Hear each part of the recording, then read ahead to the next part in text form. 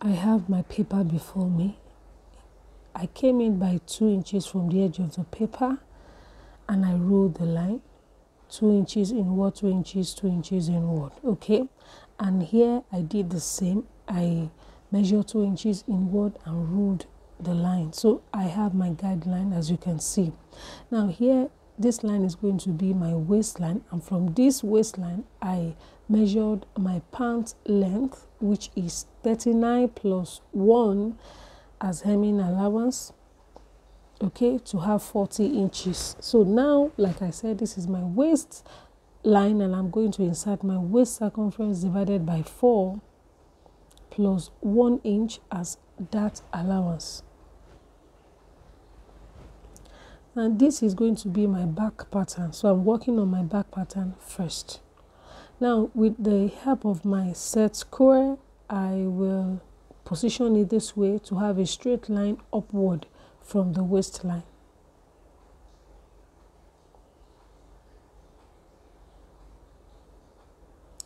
Okay, so from on this line, I am going to measure three quarter of an inch from the waistline upward and mark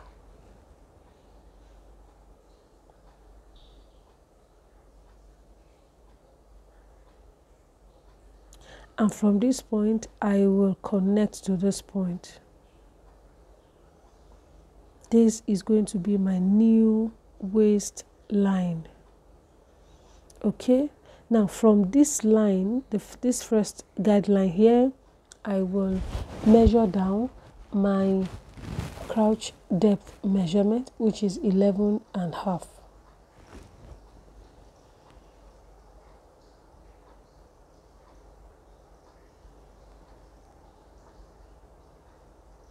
then I will connect this point with a straight line.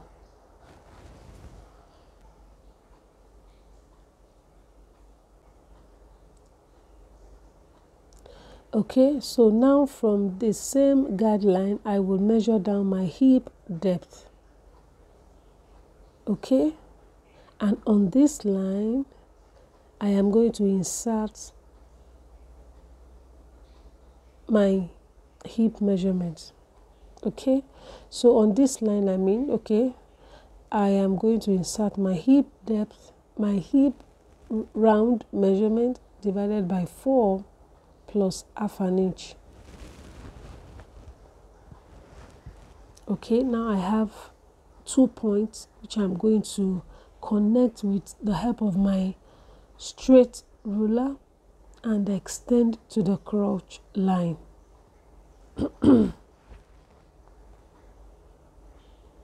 okay, now this is my center back line.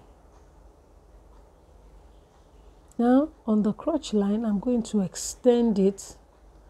I will extend the crotch line as you have seen.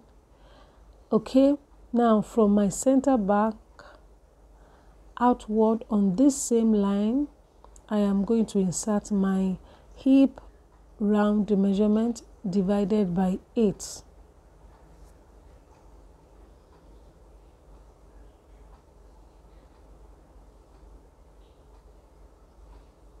So for example, if your hip round measurement is 32, divided by 8 will give you 4. Okay, so now you will insert the 4 and mark we are going to divide these 4 inches into 3 okay we are going to divide the 4 inches into 3 and whatever value you get you will minus it just the way I am doing right now. Mine is 6.25 and divided by 3 is 2 and I decided to remove 2 inches from that okay? So the the the remaining is going to be my crouch back crouch extension. I hope you understand. Okay so and from that point to the side i am going to transfer that measurement to the hemline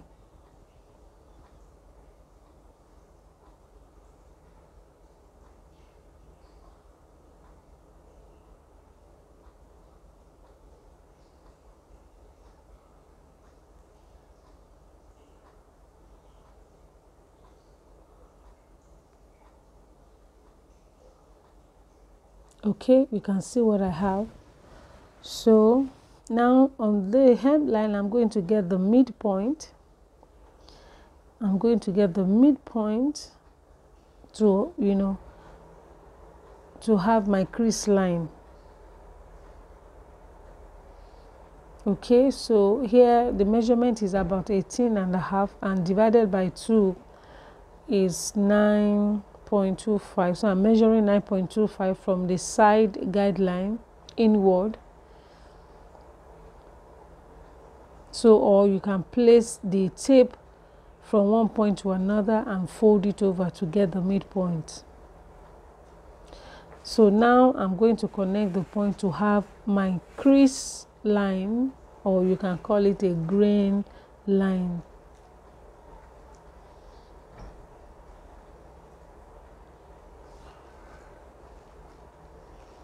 all right. You can see what I have okay? So here I am going to insert my new depth me measurement new depth or new length from the waistline the original waistline downward and not from the new waistline okay? So I'm inserting my new length measurement because I need to also have my new line.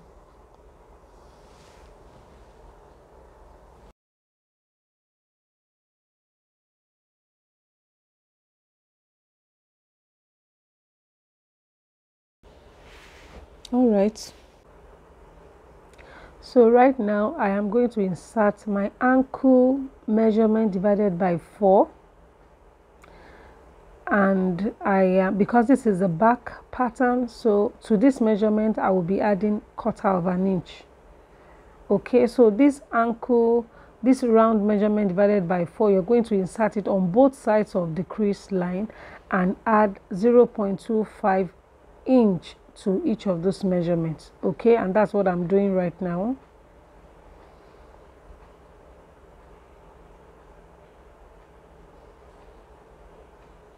so from that point I'm connecting to the new line.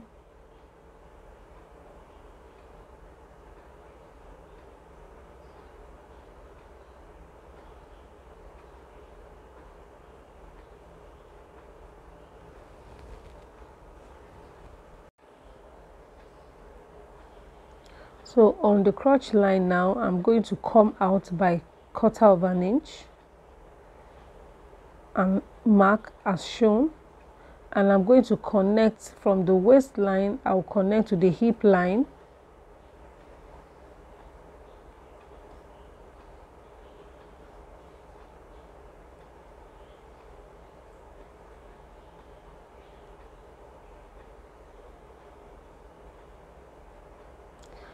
Okay so you may not really be able to see because of the pencil I am using here and um, from the new line I will connect to the quarter of an inch that I marked on the crotch the outside of the crotch um, area. Okay so I'll connect with my curve this way.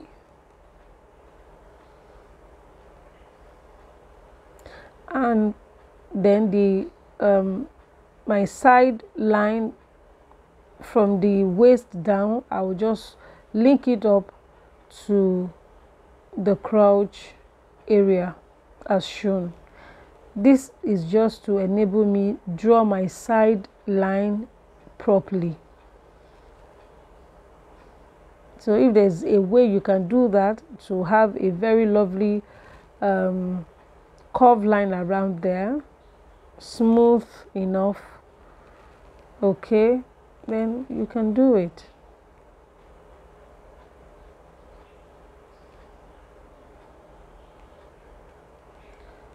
Okay, so this is what I have. I can blend and blend until I get a smooth curve around there. So I am just trying my best to ensure I have a well blended line around my nail around my crotch area okay so here I will come down from the crotch line by 0.25 that's quarter of an inch and the mark. So and I am going to just draw some broken lines straight inward like that.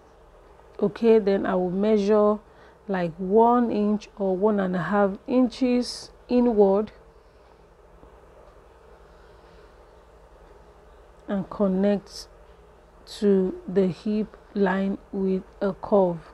So can you see my crouch curve?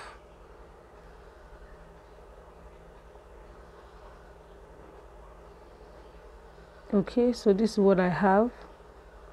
And right now I'm going to connect my new line to that 0.25 inch mark as shown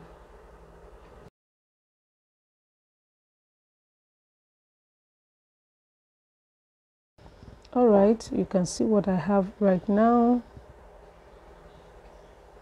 so here I'm going to insert my darts and this is just by I'm folding my tape this way to get the midpoint of my new waistline.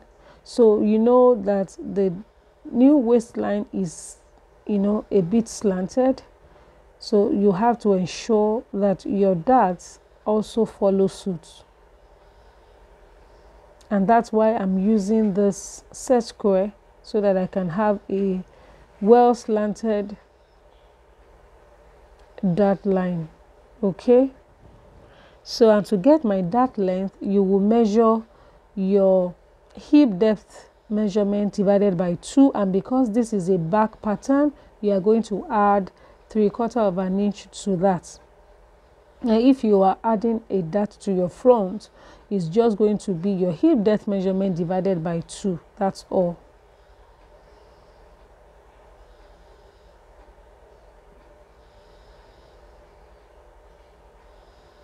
and because my dart allowance is one inch I'm going to take just half of an inch on both sides of the dart line the middle dart line okay so right now this is what I have now I'm going to be doing some adjustments on the back pattern later on.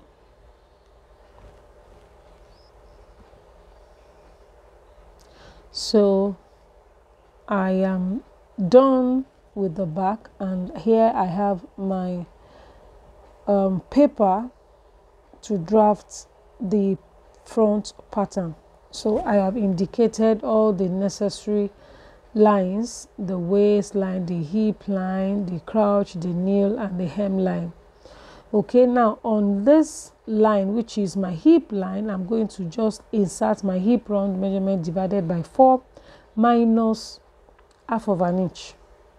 Okay now the half of an inch that I added to the back pattern was taken from the front. Okay so and you are going to insert the same measurement on the on the crouch line and on the waistline to have a straight line that I'm about to draw right now. So these three lines have my hip round divided by 4 minus half of an inch.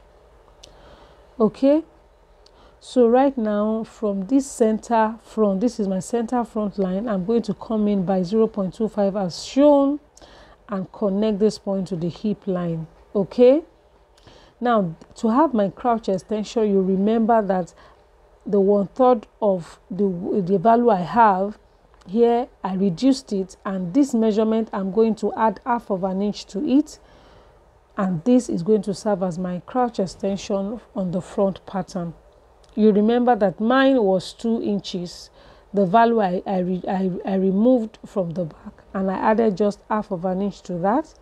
This will give me two and a half and that's why I have this. So right now I'm going to connect as shown to the hip line with a slight curve. You can see that my curve is not that deep okay? The back crouch curve can be deep but the front crouch curve should not be deep okay? So you can see this is what I have. Now on this back uh, the, the waistline i'm not going to add any dart to it. Okay and that's that's the reason why i took quarter of an inch away from the center front because i don't want it that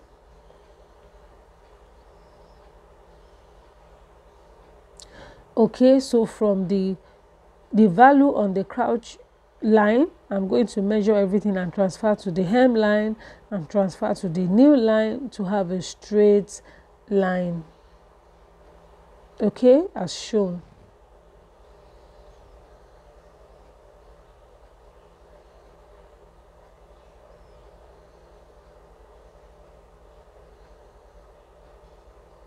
All right this is what i have. Now i'm going to get the midpoint just the same way i did on the on the back.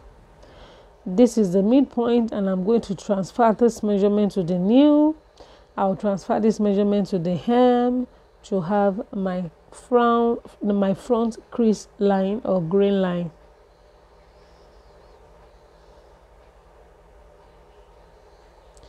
All right here I'm going to do the same. I want to extend the crease line towards the um, waistline all right can you see what I have? This is my crease line. Now if you're adding a dart you can add your dart to the crease line on the waist area. Okay?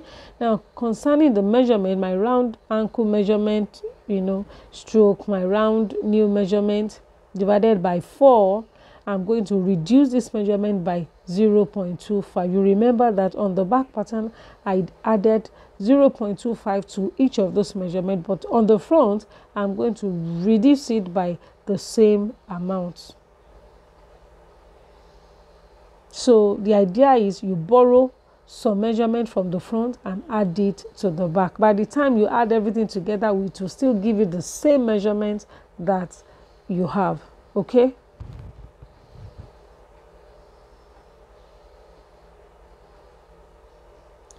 can you see? So I am connecting all those points together.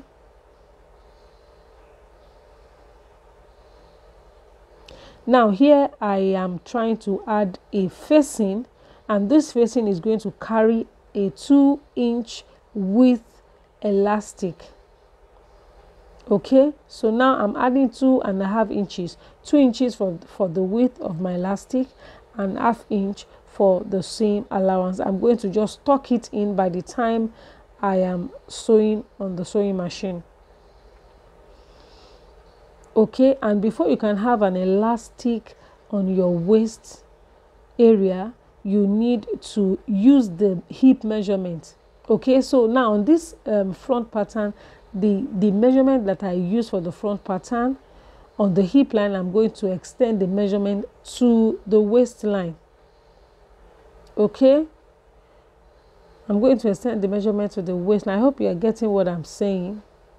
So here I used 12 inches as my hip round measurement divided by 4 minus half inch. So I'm going to just do the same insert the same measurement on the waistline so the waistline and the hip line will carry the same measurement and you are going to add it to the side of the front okay? But when you get to the back and you are trying to add that measurement it's going to be a little bit different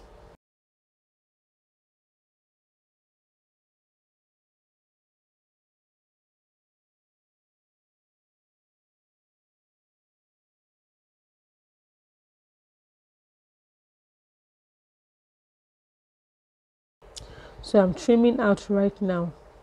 Okay? This is what i have. You can see that there's a little um, difference there. So because you are going to tuck in the waist facing before you cut out. Now the adjustments on the back this is my hip line. I'm going to eliminate this dart because the waist is going to carry an elastic. So I do not need a waist dart okay? And I'm going to eliminate it. And you remember that my allowance is one inch. So i'll divide that into two. That will be half. I'll remove half from the side. I'll remove half from the center back as shown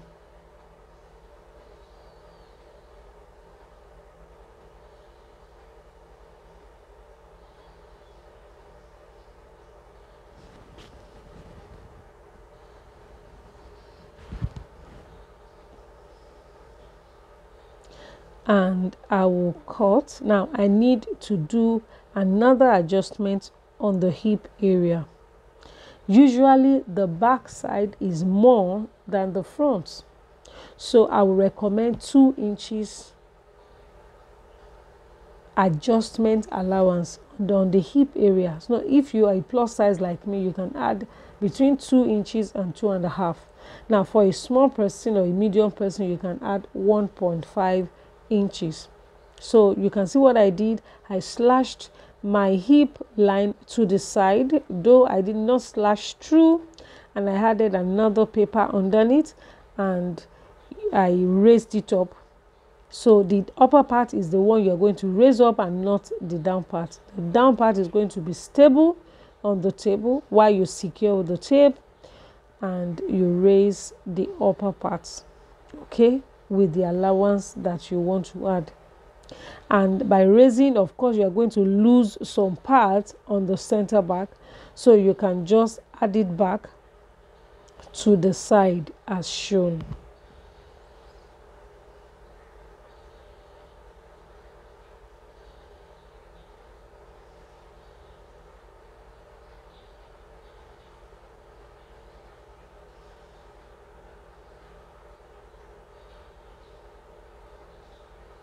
all right this is what i have. And don't forget i am going to add the um, elastic width allowance to the upper part of the back. Now here all round i added quarter of an inch seam allowance okay to the front pattern and to the back so here is 13 inches. Now 13 minus 9.5 here that's 3.5 so 3.5 divided by 2 i'll add one part here i'll add one part here